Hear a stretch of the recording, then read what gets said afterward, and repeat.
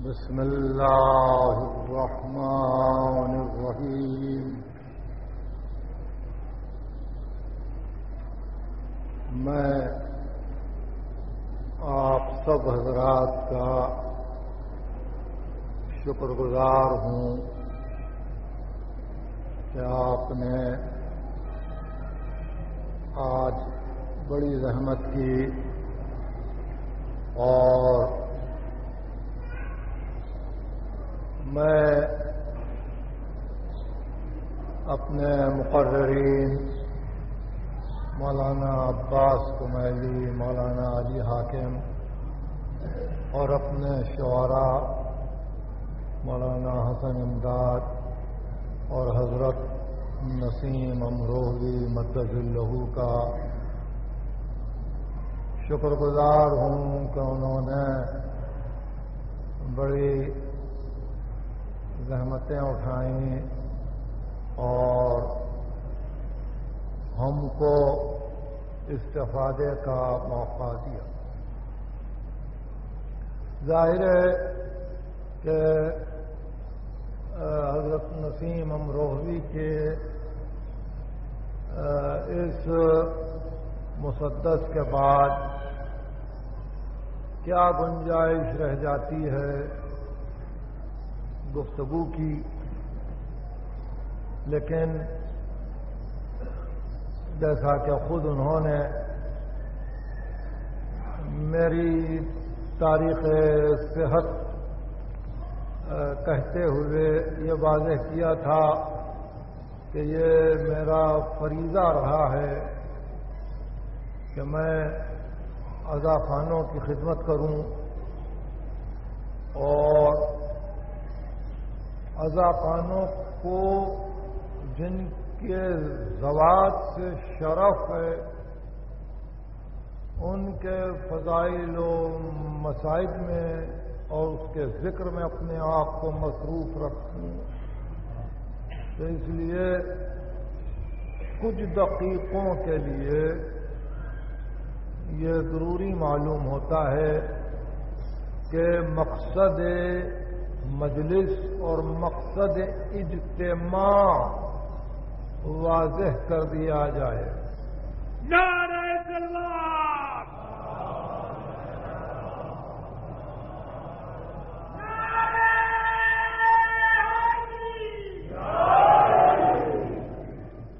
हर साल इस बारगाह में पांचवीं शाबान के बाद जो इतवार आए,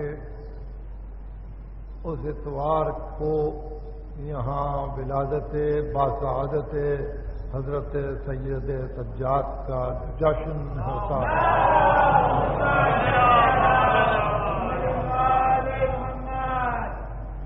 इस साल भी यही इनहमाक है और यही मकसद नज़र है। और इस मकसद नज़र की तकमील के लिए मरहूम सैयद आलियाबा जाफरी जो आगरे में मज़ार शहीद सालिफ रहमतुल्लाह अलैह के जनरल सेक्रेटरी थे। उनके साहबजादे आल अली जाफरी ने इस अम्र का एहतमाम किया कि अगर बेसिलसिल खिदमत औलाद हज़रत सैयदुलसाजदीन उन हस्तियों का भी तस्करा होता रहे, जिन्होंने अपने जद अमजद के नक्श कदम को रहबर रहनुमा बनाते हुए अपनी जिंदगियाँ नज़र इबलाग तबलीग की। तो ज़ाहिर है कि भाइयों के लिए यकीनन इफादियत का बायस होगा और बहुत सी बातें नई उनको मालूम होंगी। ये कोशिश है, अच्छी कोशिश है और इस कोशिश के आगाज़ पर मैं इस एहतमाम करने वाले को मुबारकबाद देता हूँ कि उन्होंने इस अमर पर हमको आमादा किया कि इमाम का तस्करा तो होता ही है, उनकी औलाद का भी तस्करा हो। जैसा कि हज़रत नसीम अमरोहवी मदजिल्लहू ने अभी इर्शाद फरमाया कि ये आदम आल मोहम्मद हैं। यानी अब जहाँ जहाँ हुसैन इब्न अली की औलाद में सियादत आई है, वो सारे रिश्ते और सिलसिले मुंतही होते हैं। आबिद बीमार पर। हज़रत सैयद सज्जा।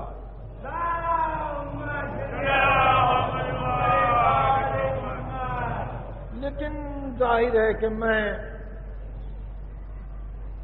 जैसे कि आप खुद देख रहे हैं कि रात को भी मेरा कार्डियोग्राम लेते हुए मेरे डॉक्टरों ने यह ख्वाहिश की थी कि मैं कोई तवील गुफ्तगु न करूँ। इसलिए मैं बशर्त हयात इस मकसद की और इस गुफ्तगु की किसी और वक्त वजाहत करूँगा।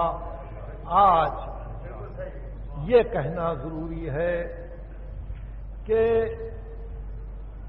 हिंदुस्तान और पाकिस्तान की हद तक ये एक अजीब बात है कि जितने मशाहिर गुजरे हैं सूफिया और मुबलगीन में, वो सब सैयद सज्जाद की औलाद से हैं।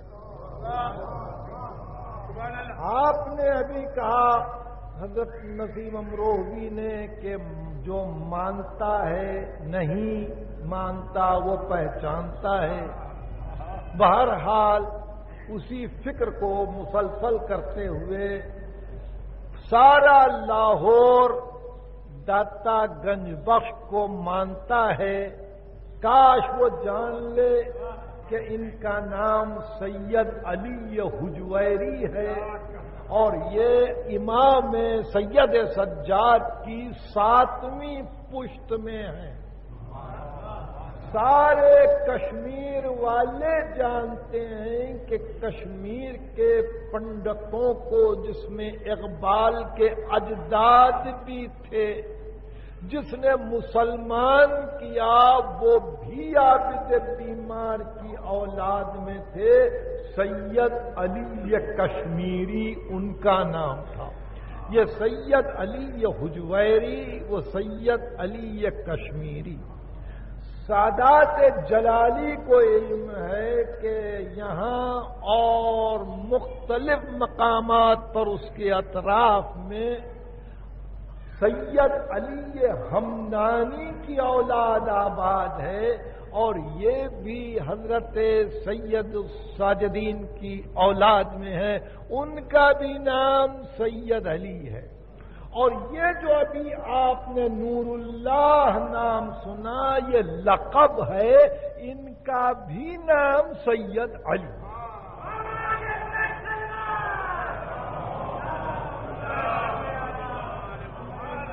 ये आपके मालूमात के लिए है कि अली की औलाद हर जगह अली ही के नाम से फैली।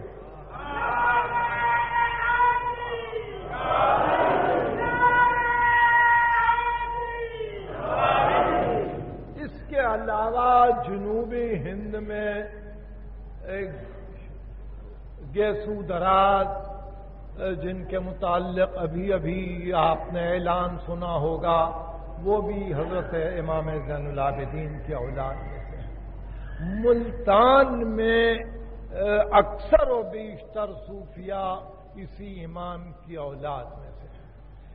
लेकिन एक अजीब हकीकत है और वो हकीकत ये है कि जहाँ इनकी औलाद में जमाने के बदलते हुए हालात को देखकर बुज़ुर्गों ने राह तसव्वुफ इख्तियार की। ऐसी मंजिल पर सैयद अली नूरुल्लाह ने उस हकीकत को पसंद किया जहाँ दीन और तसव्वुफ में फारक नुमाया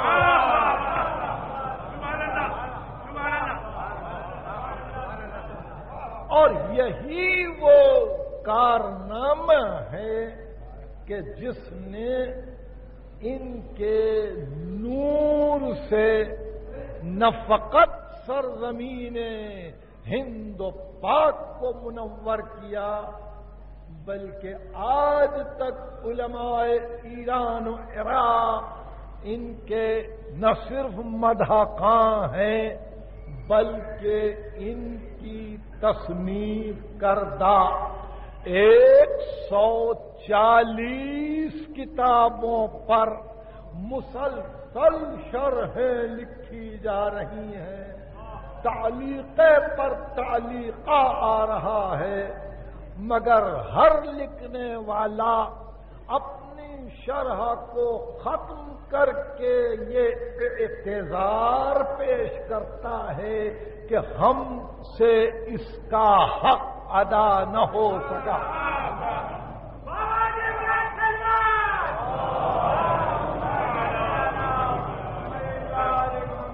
मैंने जैसा केयर किया कि हालात नासाजगार हैं मेरे लिए, वरना मैं आपका वक्त लेता। हज़रत काजी सैयद अली नूरुल्लाह शूस्तरी मरअशी मरअशी, सैयद अली मरअशी की औलाद में है, जो मदीने से हटकर मरअश में आके मुकीम हो गए थे। और ये हुसैन असगर की औलाद से हैं जो सैयदुस्साजदीन के सबसे छोटे साहबजादे थे और इमाम बाकर के रावी थे। इमाम जाफ़र सादक के रावी और एक एक महफिल में, एक एक निशिस्त में कभी ऐसा हुआ है कि हुसैन ने, असगर ने सैयद सज्जाद के बेटे ने इमाम बाकर से और इमाम सादक से कभी अस्सी और कभी सौ रिवायतों को नकल किया है कि मैं अपने जमाने के इमाम से रिवायत कर रहा हूँ और वो रिवायतें आज हमारे उलूम की बुनियादें हैं।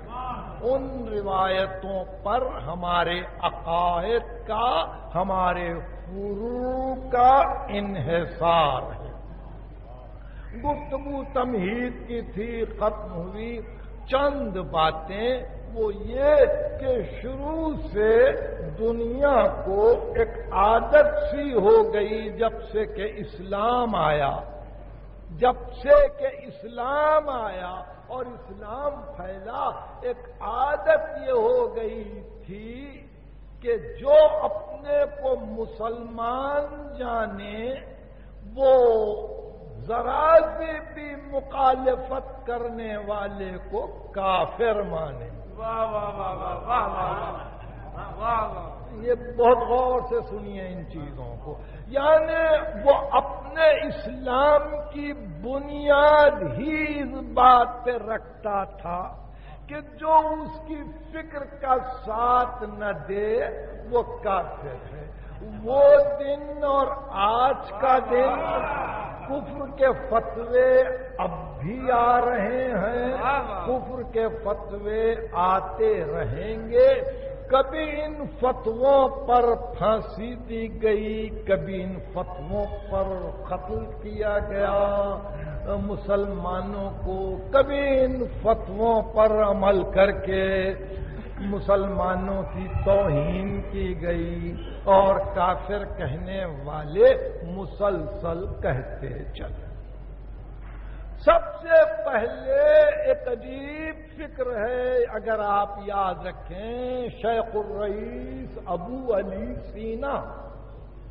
शेखुर रईस अबू अली सीना जो कानूनों, शिफाओ, इशारात का मुसन्फ है। और हमारा माना हुआ इस्लाम का हकीमो, फैलसूफो तबीरी हो फलसफी है।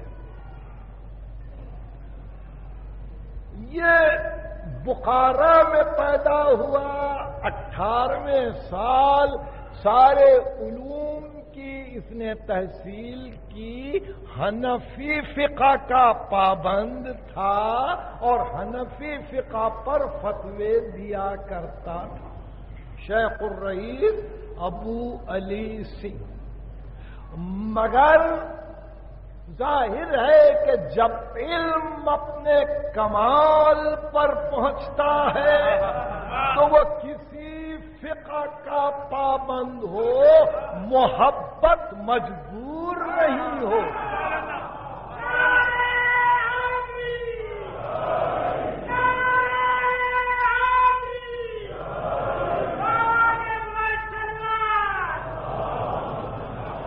तो वो हनफीयुल फिका तो थे। मगर जब इनसे पूछा गया कि असहाब रसूल में अली का मकाम क्या है तो शेखुर रईस ने कहा, कल माकूल बैनल महसूस।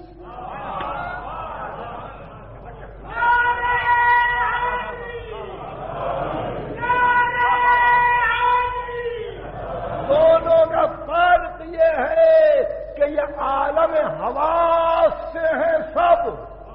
अली आलम आकल से है। ये महसूस है, अली माकूल है। कल महसूस, बैनल, कल माकूल, बैनल महसूस। ऐसे खड़े हुए हैं जैसे महसूस में माकूल इनका ये आलम है मोहब्बत अली में कि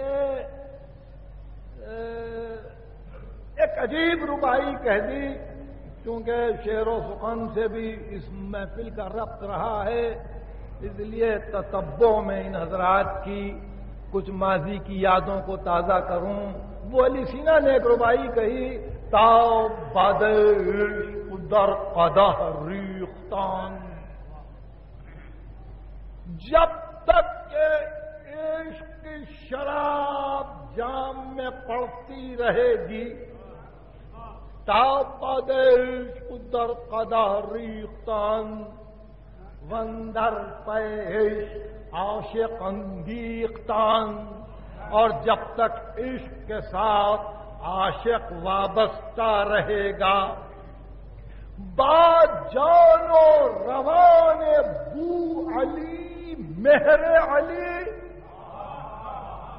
तो उस वक्त तक मेरी जान और मेरे नफ्स के साथ अली की मोहब्बत को चू शीर शकर बहम आमेतान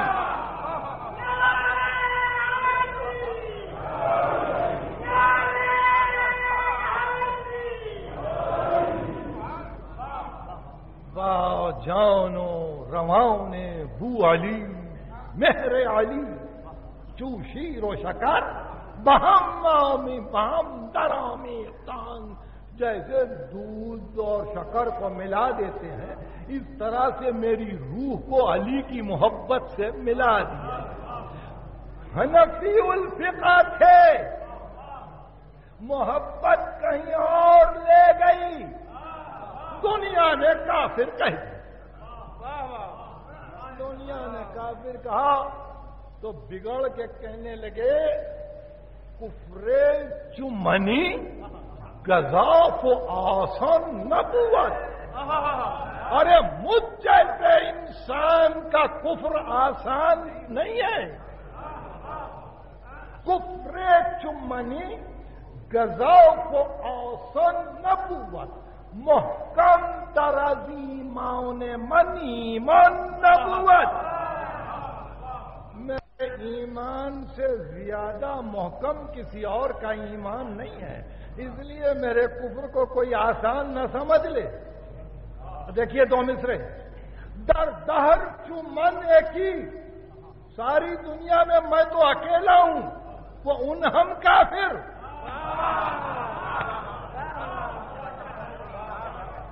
दर दहर चुमन एक। ही सारी दुनिया में मैं अकेला, वो भी काफिर। बस दर हम दहर, एक मुसलमान अबुवत अगर मैं काफिर हो गया तो सारी दुनिया में कोई मुसलमान नहीं है। याद रखेंगे आप ये चार मिसरे। कुफरे चुमनी, गजा फुआसन नबुवत। मोहकम तरजी माओ ने मनी, मन नबुवत। दर दहर चुमन की, वो उन हम काफिर। पस दर हम अदह एक मुसलमान नबुवत। तो आपने देखा, जो अपने आप को सारी दुनिया में तन्हा जाने।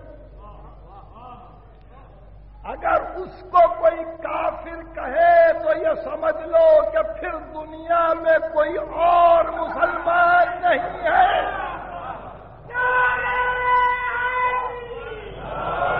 यानी यानी आप समझे मेरी बहस का मतलब? दर दहर चुमन एक ही, वो उन हम काफिर। पचास बरस अबू तालिब ने रसूल की खिदमत की और अबू तालिब सारी दुनिया में अकेले मुहाफिज हैं, रसूल के और वही के। अगर वो भी काफिर हो गए तो दुनिया में मुसलमान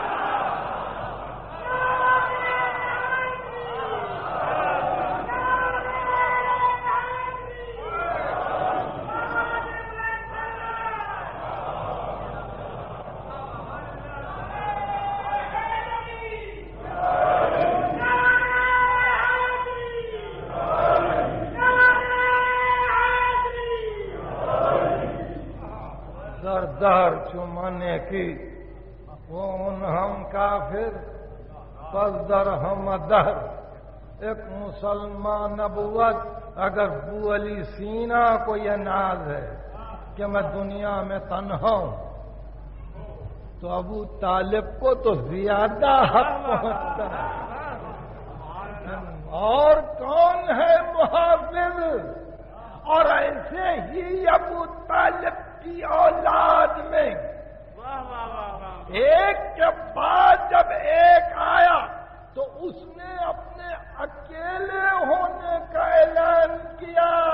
अली सिफीन की लड़ाई में कह रहे हैं कि अली को कमज़ोर न जानो, अगर सारा अरब मुझ अकेले से लड़ने के लिए आए तो मैं मुँह न मोड़ूँगा।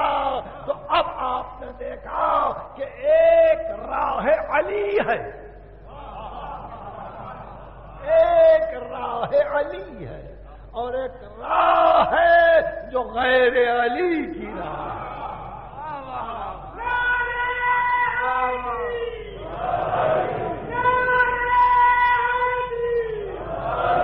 इस सिलसिले में ज़ाहिर है कि नौजवान तबका है।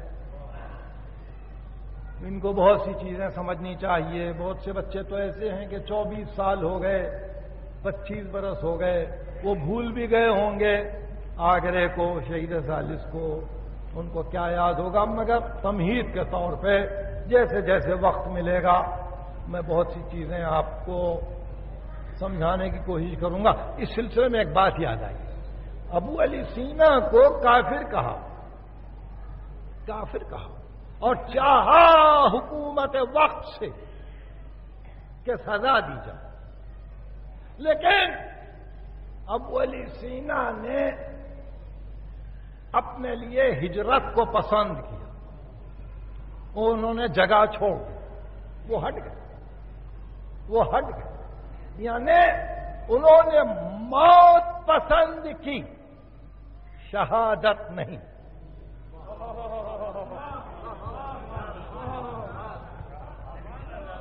मौत शहादत। Khwaja Nasiruddin Tusi. अच्छा अबू अली सीना के मुतालिक एक बात याद रखेंगे, इनका सन वफात चार सौ सैंतीस हिजरी है। अबू अली सीना चार सौ सैंतीस हिजरी है। अबू अली सीना ने हिकमत को लिया है फारादी से। मोहम्मद इब्ने मोहम्मद इब्ने सरखान फराबी जिनका सन वफात तीन सौ उनतालीस हिजरी है, यानी मोहम्मद इब्ने याकूब कुलैनी के दस बरस बाद। मोहम्मद इब्ने मोहम्मद इब्ने तरकान फाराबी से हिकमत को लिया है बू अली सीना ने। वो कहते थे कि जब तक कि मैंने अगराज माबाद तबीआ को नहीं पढ़ा फाराबी की, मैं हिकमत को समझ ना सका। बू अली सीना के इशारात पर ख्वाजा नसीरुद्दीन तूसी ने शरह लिखी। शरह इशारात ख्वाजा नसीरुद्दीन तूसी की अहम तरीन किताब है, जिसका हवाला बार बार इकबाल देते हैं। ख्वाजा नसीरुद्दीन तूसी को उनके दौर के अहम तरीन काजी ने कुफर का फतवा दे दिया। और कहा कि यह काफ़ी और उस फतवा देने वाले का नाम था निजामुद्दीन। और वो शायर भी था। तो काजा साहब ने उसके लिए भी चार मिसरे कहे। वो आप याद रखें, निजामुद्दीन निज़ाम और काफिरम खानत। निजामुद्दीन निज़ाम अगर मुझे काफिर पुकार रहा है, पुकारे चरागे किजबरा नब्बत फुरोगे, झूठ का चराग ज़्यादा नहीं जलता। निजामुद्दीन निजामर काफिरम खानत, चराग किजबरा नब्बत फुरोगे झूठ का चराग, ज़्यादा रोशन नहीं करता। मुसलमान खान मशहूरा के नब्बत वो मुझे काफिर पुकार रहा है। मैं उसको मुसलमान पुकार रहा हूँ। क्यों? के नहीं है, मुकाफाते दरोगे जूस दरोगे, वो भी झूठ बोल रहा है, मैं भी झूठ बोल रहा हूँ।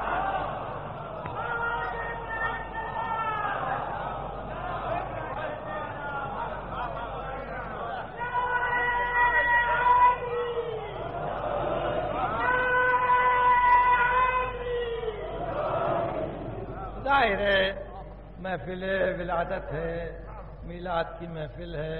आपको खुश होना चाहिए, खुश रहना चाहिए। ये बातें मादी की हैं, मगर दिल पर नक्श हैं। और याद रखने के काबिल हैं निज़ाम दीन निज़ाम और काफिरम खाना। चराग किजबरा नब्बत फुरोगे मुसलमान खान मशहूरा के नब्बत मुकाफात दरोगे, जुज दरोगे। वो झूठ बोल रहा है, मैं भी झूठ बोल रहा उसने मुझे काफिर का मुसलमान को, मैं काफिर को मुसलमान कहूँ। तो खाजा नजीरुद्दीन तुलसी के लिए बड़ी साजिशें हुई, बड़ी साजिशें और यहाँ तक कि एक वक्त ऐसा नाजुक आया। नाजुक आया कि हलाकू का अभी अभी मुसलमान हुआ था। और ये वाकयात आपको मालूम है, ये छह सौ छप्पन हिजरी से पहले के हैं। इसलिए कि ख्वाजा नसीरुद्दीन तूसी का सन वफात छह सौ बहत्तर छह सौ बहत्तर हिजरी। हलाकू का अभी अभी मुसलमान हुआ था, उसकी माँ का इंतकाल हो गया और बहुत माँ को चाहता था। उलमाए आमा गरीबा चार, अमामे सर से उतारे हुए, हलाकू खां के पास पहुँचे, ताजियत दी और का हुजूर, कयामत आ गई। आपकी माँ का साया सबसे उड़ गया। और हमको जो परेशानी है, वो ये कि आपको मालूम है, कब्र में सवाल होगा। मुनकर नकीर आएँगे। आपकी माँ वो जबान से वाकिफ नहीं है।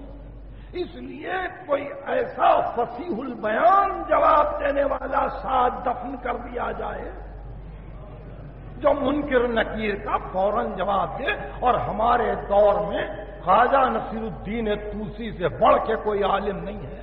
इसलिए इसको साथ दफन कर देना चाहिए। इसको साथ दफन कर देना चाहिए। तो हल्लाकू खान ने ख्वाजा नसीरुद्दीन से कहा कि क्या यह फिदाकारी मुमकिन है? ये वक्त ईसार है।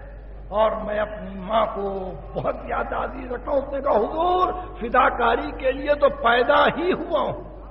मगर यह है कि आपकी माँ का जो सवाल होगा, मुनकर नकीर का, वो ये कि तुमने दूध पिलाया था, तुमने बच्चे को पाला था, तुमने गिजा दी थी, तुमने हलाकू की तरबियत की थी, मामूली सवालत होंगे। और आपसे जो सवाल होगा, ये हज़ारों को क्यों कत्ल किया? ये लश्कर कशी कैसे हुई? ये इतने ममालिक पे हमले कैसे हुए? ये इतनी खूरेजी कैसे हुई? तो आपको तो जवाब और मुश्किल हो जाएगा, इसलिए मुझे तो अपने लिए रखिए और ये चारों को इनके साथ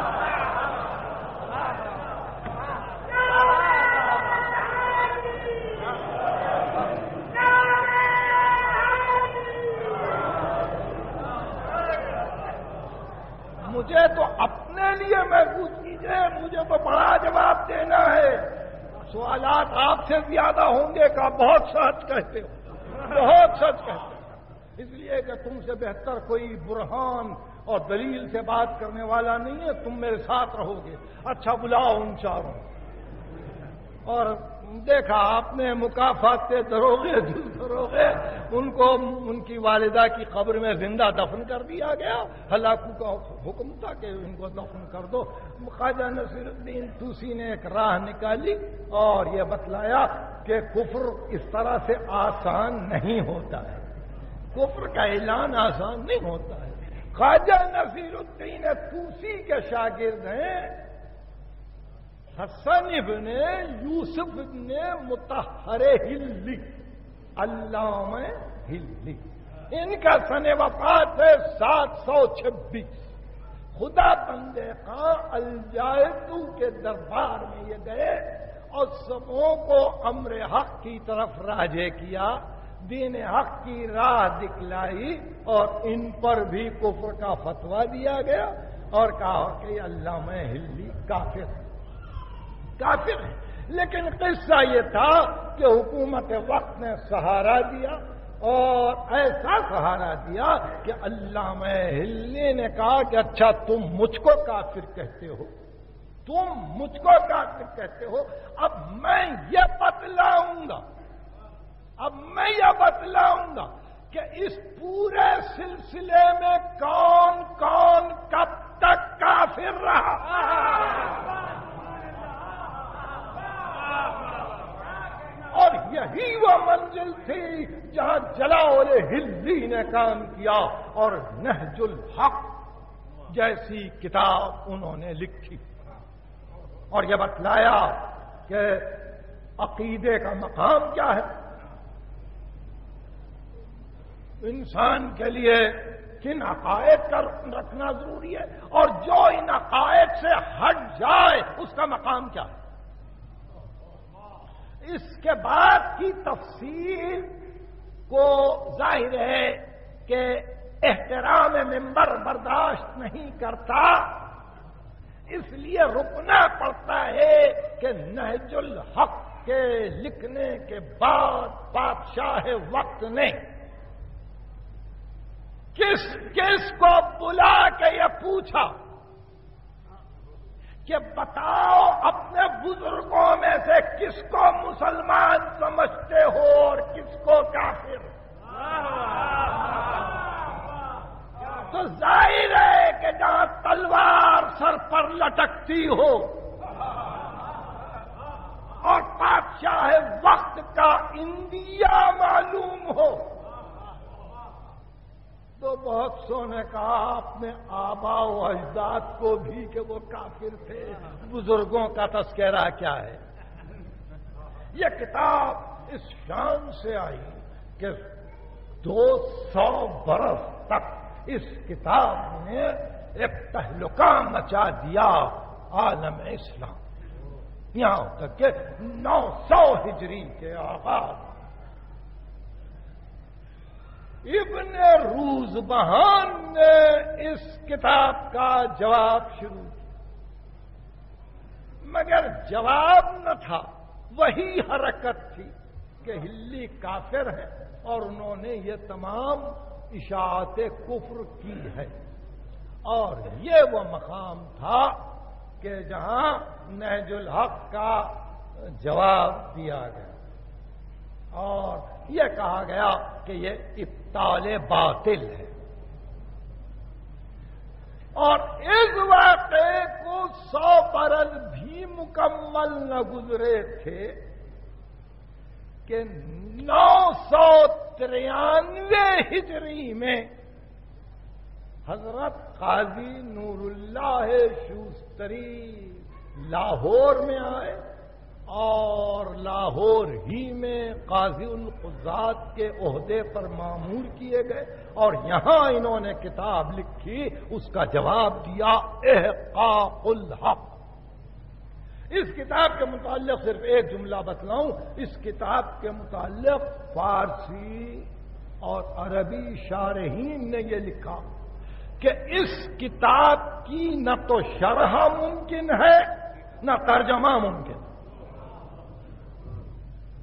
बड़ी अजीब बात है। इस किताब की न शरह मुमकिन है, न तर्जमा मुमकिन है, फकत इस वास्ते कि एक तरफ़ तो इस्तलाहत इल्मिया के दरिया बह रहे हैं और दूसरी तरफ़ फ़िक्र इतनी बुलंद है कि अगर एक लफ्ज भी तर्जमे में छूट जाता है तो जुमले के जुमले समझ में नहीं आते। इसलिए लोगों ने अपनी कोशिशों का अधूरा किया।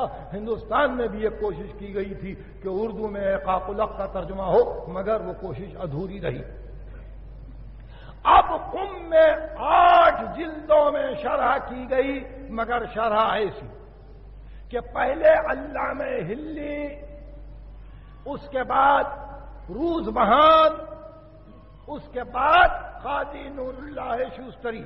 एक एक मसले पर ये तीन तीन हजरात के आरा। और बस।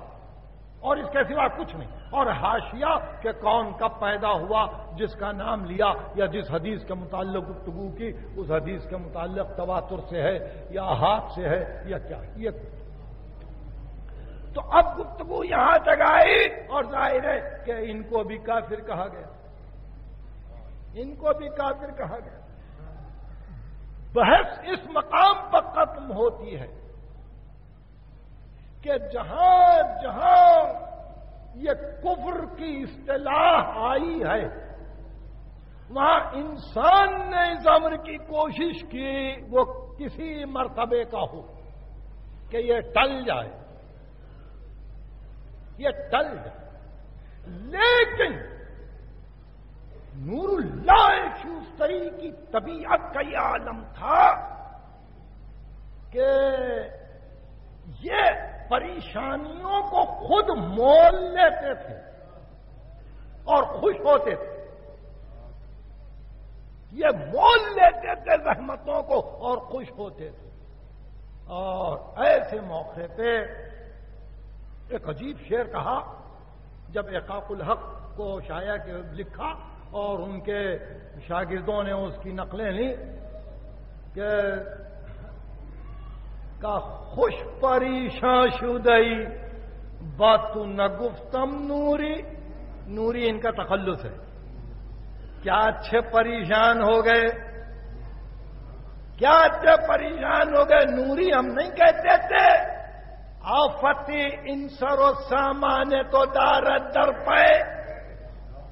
कि ये तेरा सरो सामान तेरे लिए आफत बनने वाला है, हम नहीं कहते थे ये खुश परीशान की तरकीब देखिए।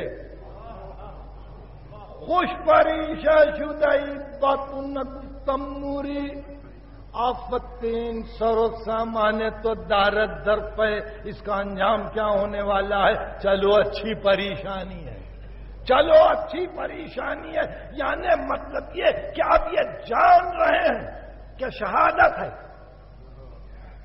ये जान रहे हैं कि मरना है, लेकिन सिबात कदम का यह आलम।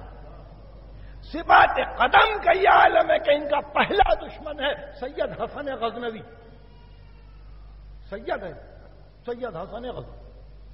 एकाकुल की किताब आई और उसने एक मरतबा मुखालिफी ने अमीर उलमिन की मधा शुरू कर दी। मुखालिफी ने अमीर उलमिन की शुरू कर तो एक मरतबा बिगड़ के कहने लगे कि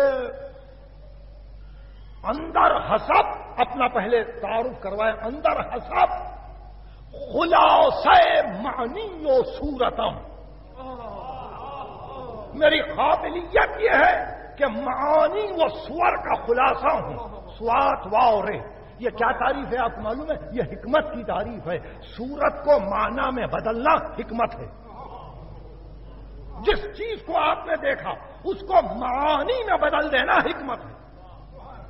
अंदर हसब खुला से मानी यो सूरतम। अंदर नसब सुलौले जहरा वो हैदरम। अंदर नसब सुलौले हसब वो है। नसब ये और शुक्र खुदा। शुक्र खुदा के चुन हसन गजनबी नयम। यानी न आके वालिदो, न नंगे मादरम।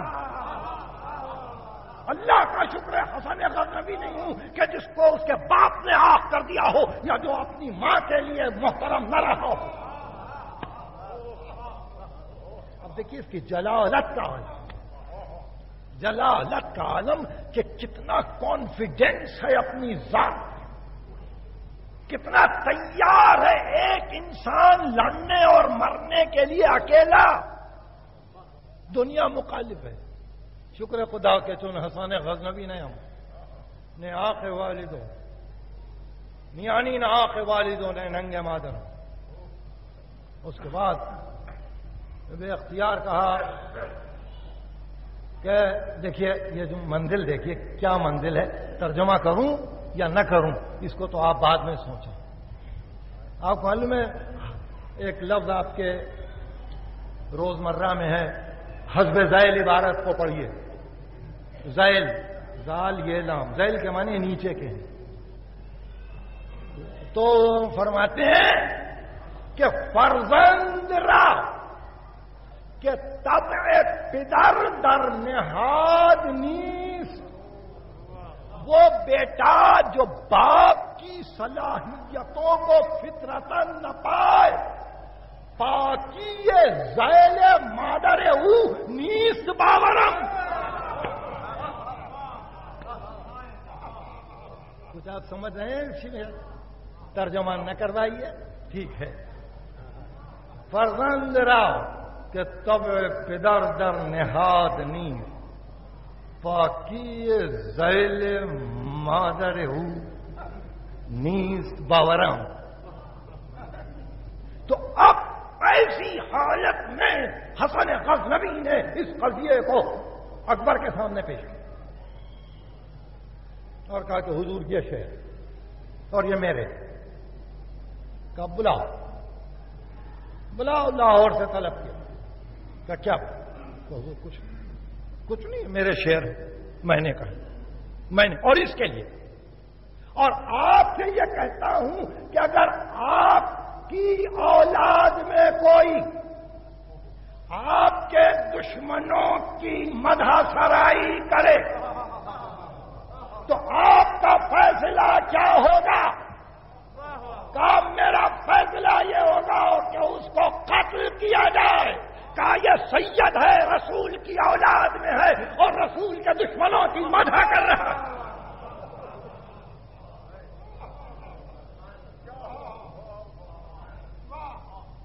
चुनाचे अकबर ने वही हुक्म सुनाया, सैयद हसन गजनबी कत्ल कर दिया। अकबर का दौर खत्म हुआ और ये दौर तालिबान एक हज़ार चौदह हिजरी में अकबर का दौर खत्म। अब यह पाँच बरस रह गए, जिसमें अब सारी ताकतें एक जगह हो गई। और ऐसे में ऐलान किया गया कि काजी साहब, अलल ऐलान हमको बुरा कहे अलल ऐलान तो सिर्फ़ इतना कहना चाहता हूँ आखिर में कि इनके लिए कितनी राहें थीं। उलमाए ईरान को मालूम हुआ कि हुकूमत दुश्मन हो गई। उलमाए इराक को मालूम हुआ कि हुकूमत दुश्मन हो गई। बादशाह ईरान को मालूम हुआ कि हुकूमत दुश्मन हुई है। मुसलसल आदमी लाहौर दौड़ाए गए कि इनको हटा दो। इनको हटा दो।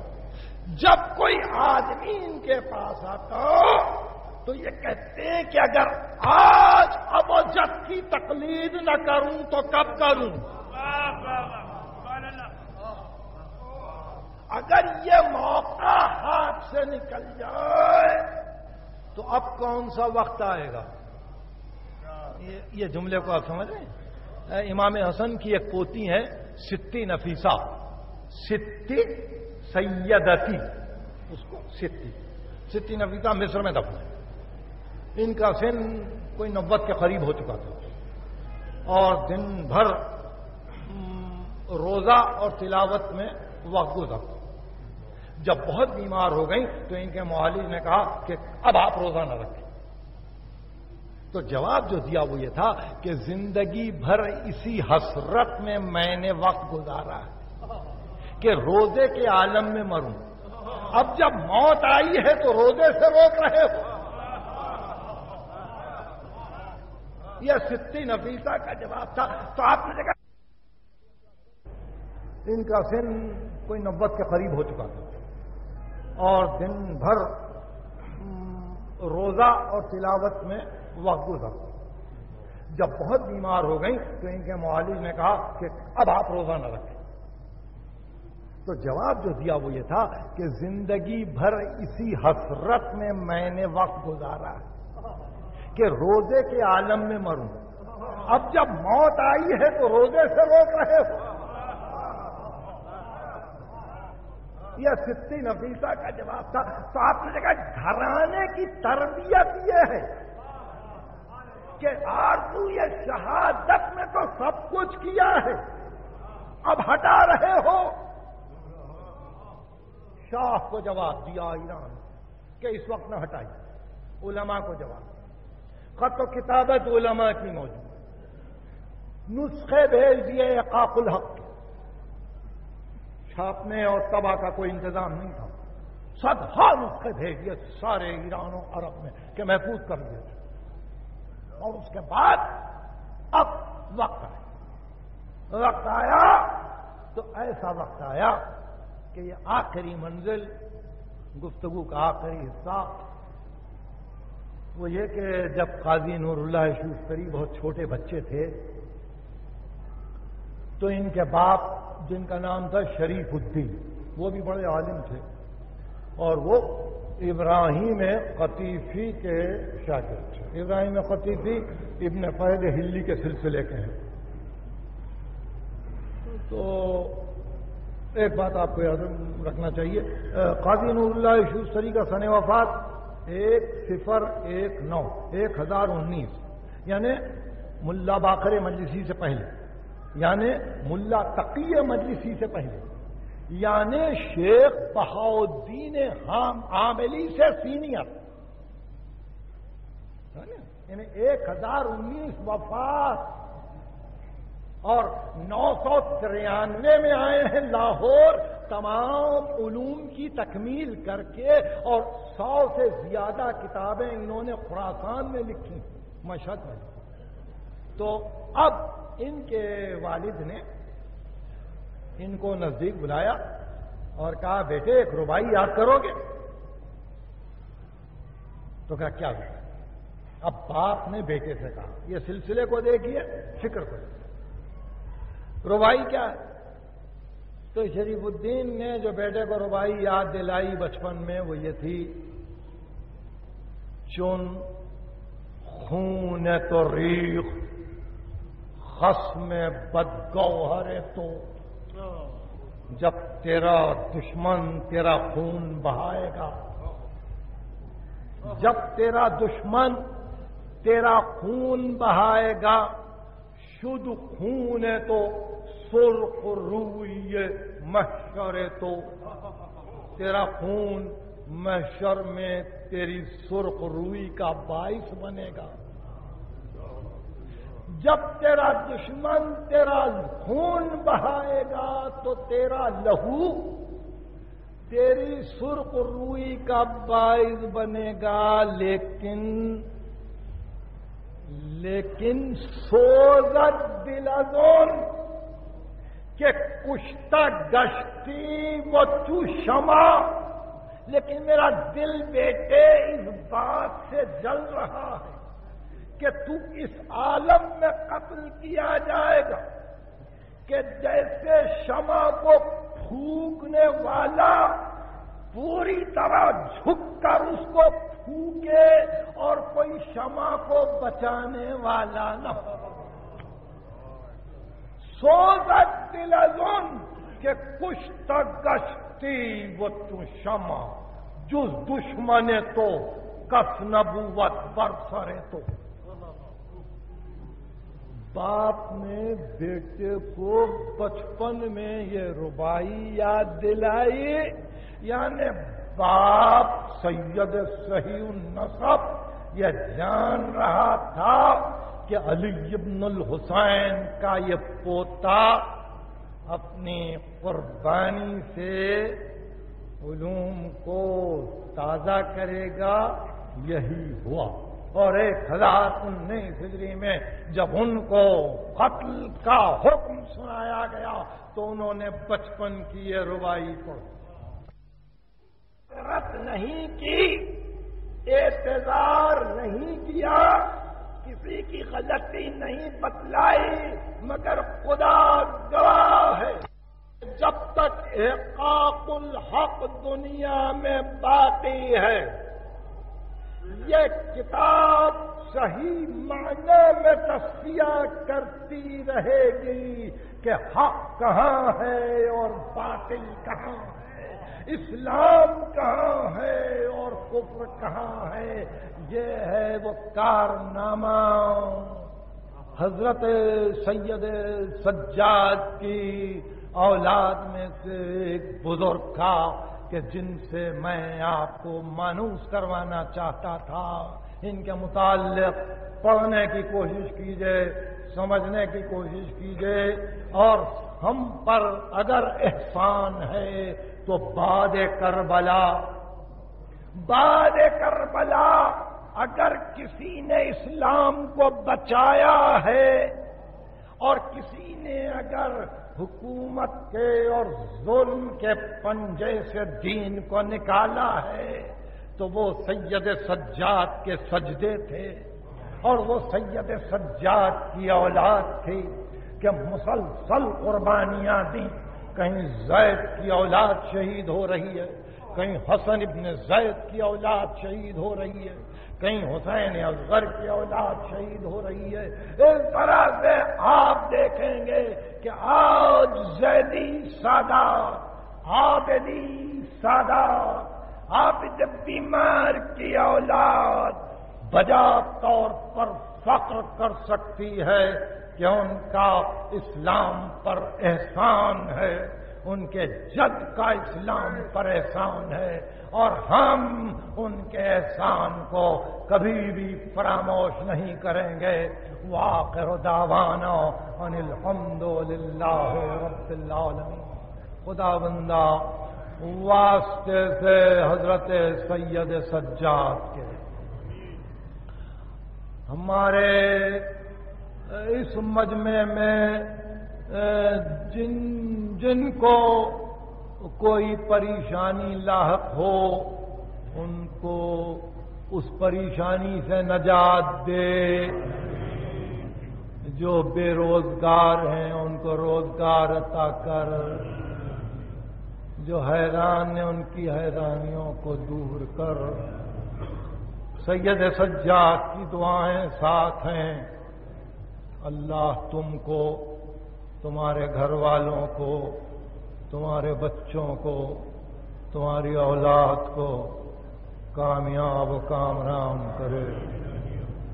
एक मरतबा सलवा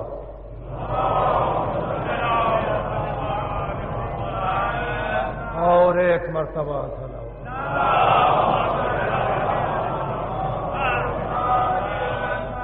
एक मरतबा बावाज बुलंद।